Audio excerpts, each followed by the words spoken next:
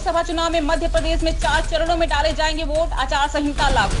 लोकसभा चुनाव में छत्तीसगढ़ में तीन चरणों में होगा मतदान बक्सर में होगी वोटिंग की शुरुआत।